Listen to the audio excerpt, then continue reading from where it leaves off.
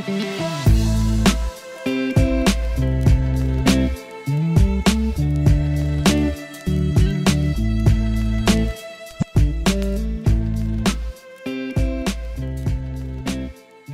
everyone, welcome to this tutorial. In this video I'm showing you how to add animated box to your pages with the help of JetElements plugin.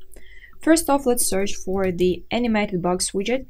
Here it is, and let's drop it over here so it creates an animated box. Here in the content tab on the front side content, you can set an icon that will be appearing on the front side, the title, the subtitle, and the description. Another tab is a backside content that you can also change. You can set icon, title, subtitle, description. But the element that is not present on the front side is the button. And you can change the button text and the button link. Here go the settings, which allow you to change the title HTML tag and the subtitle HTML tag and the animation effect as well.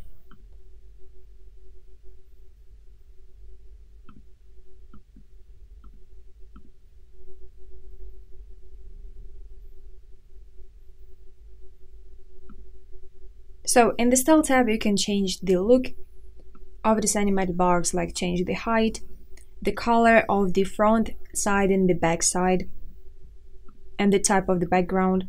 You can tweak the typography for the icon on both the front side and the back side. The same typography settings to the title, subtitle, description. Some settings for the button. Here you see them. type of overlay and set the opacity for the overlay and the order of the elements on your animated box.